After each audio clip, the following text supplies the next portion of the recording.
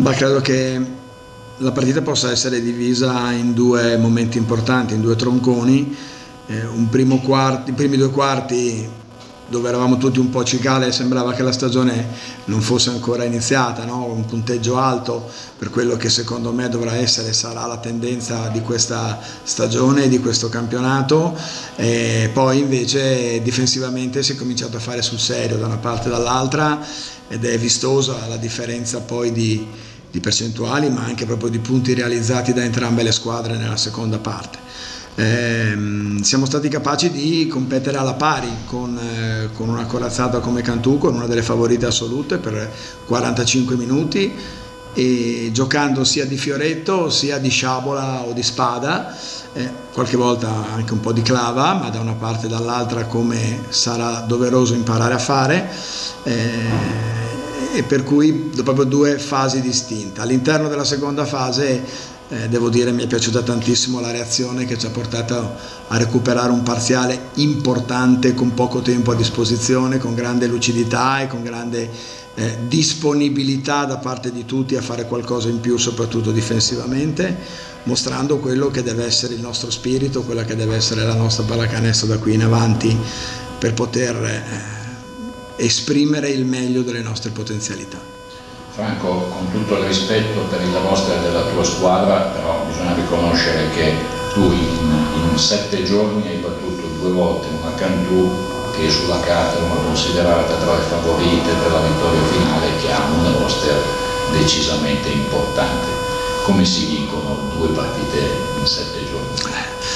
Ma un po' si parte da, da, da, dalle fondamenta che sono quelle che abbiamo un po' che ho evidenziato magari un po' nell'apertura e, e, poi si cerca di trovare piccole chiavi tattiche che possano eh, togliere qualche certezza, possano togliere qualche punto di riferimento eh, ai, nostri avversari e non sempre le stesse, cioè rispetto a quelle che erano state le scelte tattiche della Supercoppa oggi abbiamo cambiato. Alcune cose, non tutto, però alcune cose le abbiamo, le abbiamo cambiate e, e credo con buoni, con buoni risultati la costante è stata sicuramente quella di, in entrambe le gare di mettere un pochino fuori partita McGee e, e questo probabilmente è uno dei pregi maggiori che, che abbiamo avuto. Poi è chiaro che le, non, le, le, condizioni non ottimali di Basile, Moraschini che rientrava, ci sono anche dei fattori che un po' ci hanno aiutato, che vanno tenuti in considerazione, però ecco, la nostra capacità è stata non pensare che oggi si giocasse eh, la partita di sette giorni fa, otto giorni fa. Oggi era un'altra partita, doveva essere giocata in un altro modo e, e siamo stati capaci di farlo. Grazie. Grazie. Io l'ultima domanda, se posso. Eh, due parole sulla cornice di pubblico, prima giornata, subito un grande spettacolo anche sugli spalti, quindi le volevo chiedere se anche per voi che siete i veri protagonisti è comunque sempre stimolante giocare un palazzetto pieno. Assolutamente, oggi avevamo avuto e, e chiaramente era prevista la grande partecipazione come sempre eh, de, de, degli Eagles e, de, della, e, quindi anche la curva ospite ha contribuito a creare no? un, un, grandissimo eh, pathos in questa gara. Noi avevamo la curiosità e un po' così l'interesse di capire quale sarebbe stata eh, così, la partecipazione delle, del nostro pubblico e, devo dire è stata straordinaria numericamente ma anche a livello di, di impatto emotivo, di partecipazione, di sostegno. Ehm, credo che, che, poi una vittoria ottenuta così con una squadra di questo tipo come avversario eh, possa aver così un po' amplificato, accentuato entusiasmi e fidelizzazione e simpatia nei confronti della squadra, quindi credo e mi auguro che possa essere uno straordinario punto di partenza sicuramente una prestazione diversa da quella di, di Livorno, sicuramente una partita approcciata e giocata con uno spirito e un'energia totalmente diversa. Eh, non pens- possiamo pensare di produrre in ogni voce statistica dei valori migliori di orgi nuovi e avere 15 tiri in più e numeri decisamente più alti in tutte nelle principali voci e non essere in grado di, di, di, di portare al risultato.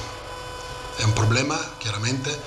eh, rispetto alla partita dell'andata c'è dall'andata di settimana scorsa, ripeto, sicuramente una prestazione migliore, la chiave può essere stata sicuramente, sono due,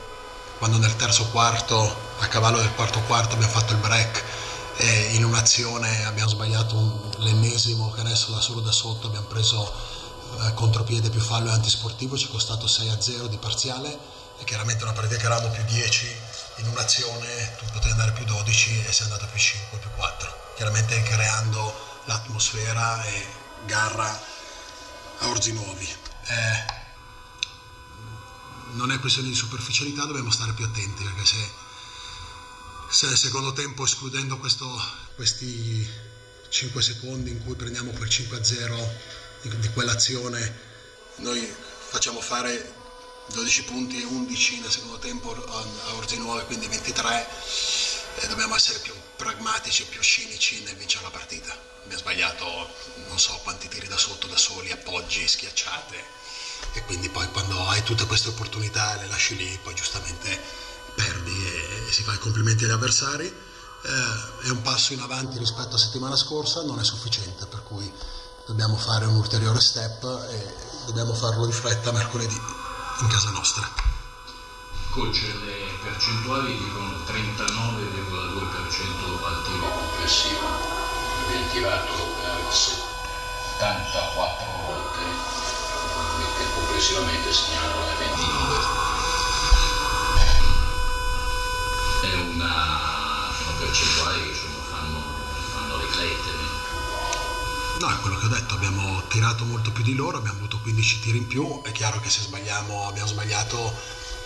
così senza far fatica, senza avere una grande memoria, almeno 5-6 tiri, ma non tiri da tre aperti, che quelli puoi capitare di sbagliare, appoggi da soli da sotto. E onestamente in una partita così maschia, così dura e così intensa, eh, queste situazioni qua, da una parte un, un eccezionale Devo fa dei canestri carpiato in aria col difensore davanti e noi sbagliamo le schiacciate da soli da sotto. Capita, capita, non deve capitare chiaramente, ma può capitare ci portiamo a casa la prestazione totalmente diversa, l'effort diverso che abbiamo fatto e chiaramente sapendo che non è sufficiente perché il risultato dice che non è stato sufficiente. Per cui ci si rimbocca le maniche e fra 40, 72 ore siamo pronti in casa contro Brindisi a fare un'altra partita. Vedo sono venuti a mancare soprattutto punti in gioco da quelli che avrebbero dovuto essere terminati di, di questa squadra